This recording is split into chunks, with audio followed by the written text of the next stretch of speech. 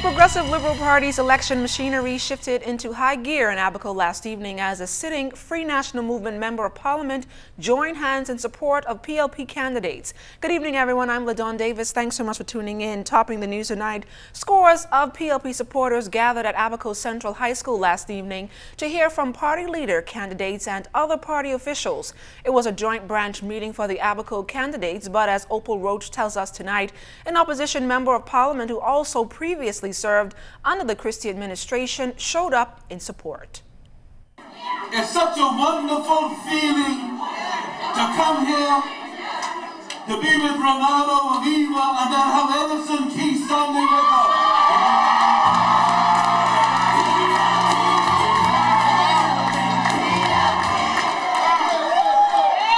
And with the Free National Movement's representative for South Abaco standing on stage supporting PLP candidates Eva Bain and Renardo Curry, Prime Minister the Right Honorable Perry Christie told supporters the choice is clear.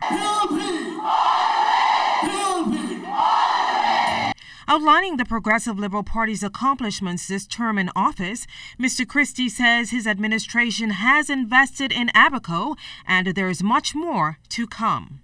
We've laid a foundation for infrastructure, industry, and even agriculture. New docking facilities, new port, the ingenuity to create festivities that attract boaters to enjoy our good waters have also contributed to the boom in the economy in Abaco, and this is the kind of development that is sustainable. So a great foundation has been laid. Now we have to do more. In doing more, the Prime Minister says opportunities for Abaconians will expand as a result of government's investment in education and training. And I want all the young people to understand in tomorrow's Abaco and tomorrow's Bahamas, education is key, training is key.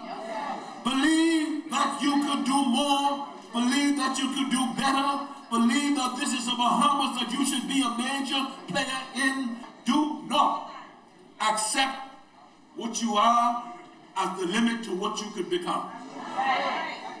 Remember that. The nation's chief also highlighted the success of BAMSI in North Andros, saying Abaco also has arable land. He encouraged the young people to tap into that sector.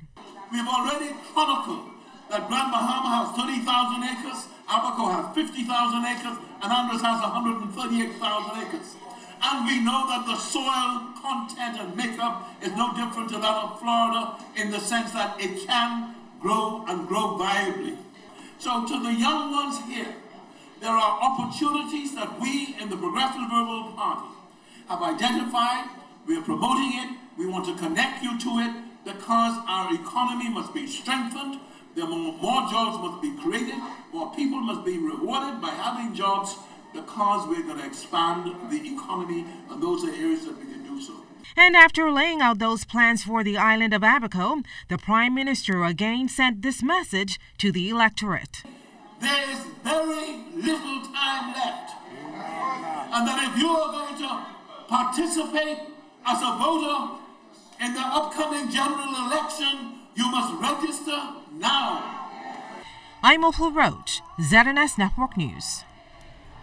Free National Movement Member of Parliament for South and Central Abaco, Edison Key, also making it clear where he stands when it comes to politics.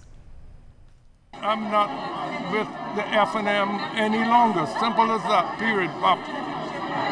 They know and Minnis knows I am no longer with the FNM, period. Support the PLP and when keep the government in place.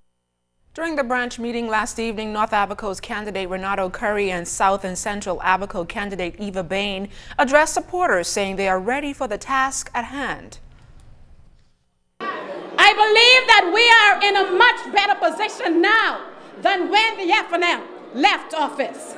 PLPs, the FNM left our country in need of relief and recovery. Their leader knows how bad a state and how horrible a government they were. He told the Bahamian people that they left the economy in a wheelchair without even batting an eye. Now they want another chance to disappoint the Bahamian people again? I say no. We have worked hard to lift ourselves from the deep hole in which they left us. Our country is on course, and we must continue moving forward together, Bahamians. We have been able to accomplish much in this term to assist our people. In 2016, the Bahamas Technical and Vocational Institute, or BTVI, began holding classes for interested persons on the island of Abaco. This is much welcome and much needed to provide Abaconians with the opportunity for training and certification.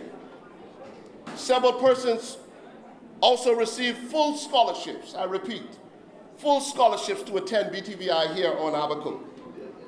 In the area of infrastructural development and upgrading, we have been able to carry out road paving in Dundas Town, Murphy Town, Green Turtle Cay, and soon in Leisure Lee.